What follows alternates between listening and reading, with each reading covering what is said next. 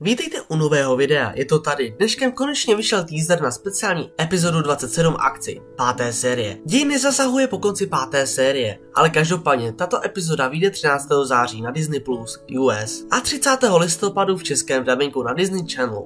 A ještě než začneme s rozborem, tak vám tu představím synopsi této epizody.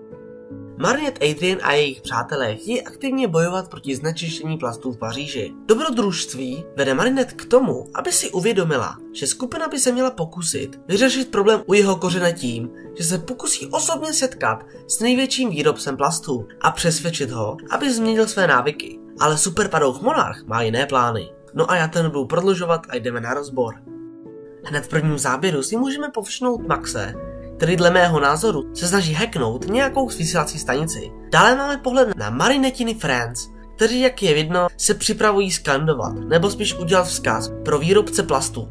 A soudě podle toho, že Nino drží kameru, tak právě on to bude vysílat do televize. Ale samozřejmě to může být i jinak. No pak vidíme Marinette, jak hovoří přes telefon s hrdiny z New Yorku a Šangaje. No upřímně, tohle mě docela teďka mate. Ale možná to má s tím vším možná souvislost. Když vidím, že se podle všeho na něčem domluvili, pak vidíme, jak Max s tím hackováním vše dokončil. Stiskne klávesu a Nino si veme kameru a začne vysílání.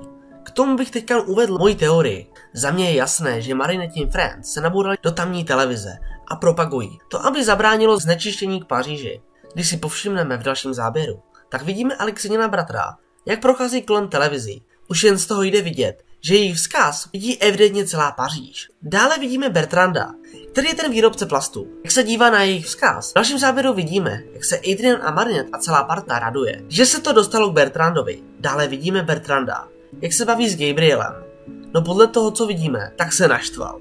A když se zaměříme na předmět, co drží, tedy to pero, tak lze vypovědět, že toto pero s takovým candy stylem bude akumatizovaný předmět. Pak vidíme předměnu monarcha, a v dalším záběru vidíme akumatizovaného Bertranda na King of Plastic, neboli krále plastů, který fakt vypadá, jako by byl z nějakého Candylandu.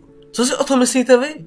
No každopádně, pak vidíme, jak Beruška a Černý kocour s ním bojují. Ale za mě se tak zdá, že Beruška je více naštvanější než kdykoliv jindy. Ale každopádně pak vidíme kocoura, jak skáče do lodi, kde bydlí Luka. Dost asi zajímavější záběr poté, ve kterém vidíme možná ten motor té lodi, který se přehřívá nebo destabilizuje. Každopádně v dalším záběru vidíme konfety nebo výbuch toho motoru, ale to by bylo vše v tomto rozboru. Budu moc rád za vaše názory, co si o tomto teaseru myslíte a za like, komentář a hlavně sdílení a my se uvidíme v dalším videu.